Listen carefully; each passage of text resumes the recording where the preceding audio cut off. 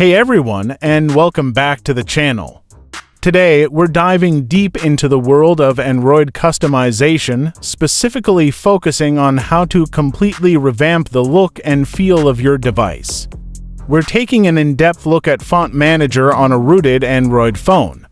Now, if you're like me and you love tweaking every single aspect of your smartphone, from the wallpaper and icons to the smallest details like the system font, then this video is definitely for you.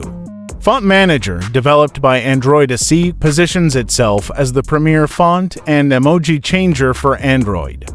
They make some bold claims about revolutionizing your Android experience, offering unparalleled control over typography and even emoji styles.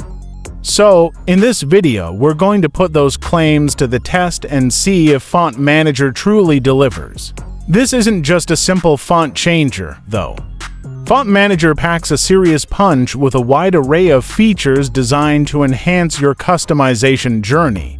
Let's break down some of the key highlights and explore what makes this app stand out. Before you even start changing fonts, Font Manager gives you a detailed overview of your device's specifications and status. One of the biggest draws of Font Manager is its extensive library of fonts and emojis. They're constantly adding new options, ensuring there's always something fresh to discover. Finding the perfect font can sometimes be a challenge, but Font Manager makes it easy with its intuitive search feature. Font Manager is designed to work across a wide range of Android manufacturers and devices, ensuring compatibility for as many users as possible. So, there you have it, a comprehensive look at Font Manager on a rooted Android device. While rooting is required for the full experience right now, the upcoming rootless theming option is definitely something to keep an eye on. Let me know in the comments below what you think of Font Manager. Have you used it before? What are your favorite fonts?